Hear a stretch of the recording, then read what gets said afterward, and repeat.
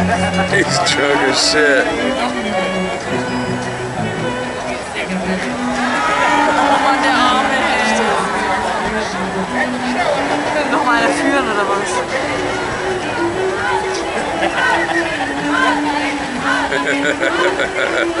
Somebody's been hitting the uh, the headless a little too hard.